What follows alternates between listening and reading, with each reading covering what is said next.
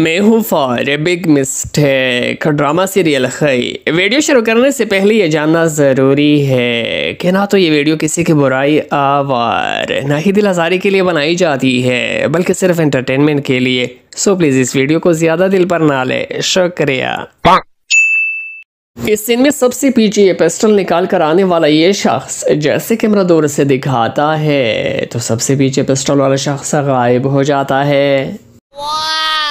दरवेश खान के कान में रिश्ते की बात डालकर जाते वक्त चिनार खान के लेफ़्ट हैंड में नज़र आने वाली ये घड़ी जैसे चलकर गाड़ी में बैठता है तो न सिर्फ़ घड़ी लेफ़्ट से राइट हैंड में आ जाती है, बल्कि घड़ी भी चेंज हो जाती है।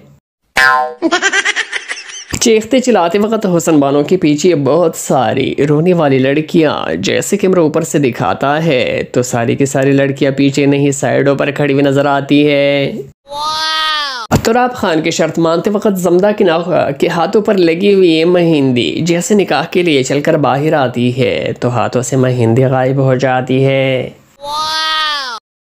शिनार खान जमदा से बेलचा छीन कर फेंकता है जो जाकर इस जगह पर सीधा लग जाता है। लेकिन जैसे जमदा तुराब खान से जान छुड़ाकर माँ के पास भागती है तो सीधा लगा हुआ बेलचा अपने आप उल्टा हो जाता है। कुछ भी?